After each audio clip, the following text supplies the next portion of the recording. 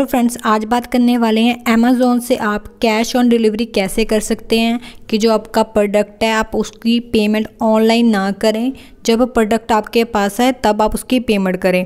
इसके पीछे बहुत सारे रीज़न होते हैं। जो लोग फ़र्स्ट टाइम कोई ऑर्डर करते हैं तो वो यही चाहते हैं कि तब पेमेंट करें जब हमारी जो प्रोडक्ट है, वो हमारे पास आ जाए।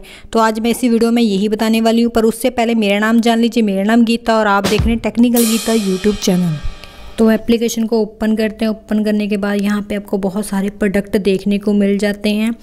तो हम कुछ सर्च करते हैं यहाँ पे। तो क्लॉक के बारे में सर्च कर लेते हैं यहाँ पे।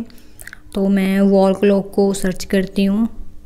तो उसका बताऊँगी कि कैसे आप इसको पेमेंट बाद में कर सकते हैं। प्रोडक्ट आने के बाद यहाँ पे वॉल क्लॉक फॉर होम मैंने सर्च किया। तो सबसे ऊपर आप देख सकते हो आपको ऑप्शन मिल जाते हैं क्लॉक साथ में डिलीवरी का भी। जैसे डिलीवरी पे क्लिक करोगे, यहाँ पे eligible for payment on delivery ये आपको पेमेंट तब देनी है जब आपके घर पे प्रोडक्ट आ जाए और ये प्रोडक्ट आपको सिर्फ़ दो दिन में मिल जाएगा तो इस तरह आप चेक कर सकते हो।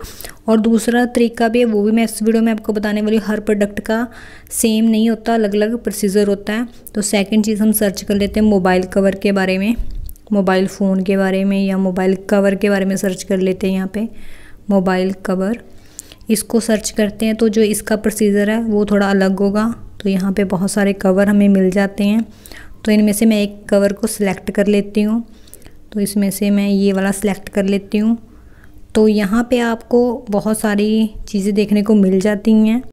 तो बाकी जो प्रोडक्ट की जानकारी वो हम नीचे जैसे ही करेंगे तो हमें और भी ऑप्शन देखने को मिल जाते हैं। इसके चार्जेस भी हैं नाइन्टी नाइन ये भी चेक कर सकते हैं और बाय नाउ पे क्लिक करते हैं अब। उसके बाद हमें पेमेंट का ऑप्शन मिल जाता है। यहाँ पे आप पेमेंट ऑनलाइन के आपको ऑप्शन देखने को मिल जाते हैं कि कैसे कैसे आप पेमेंट कर सकते हो।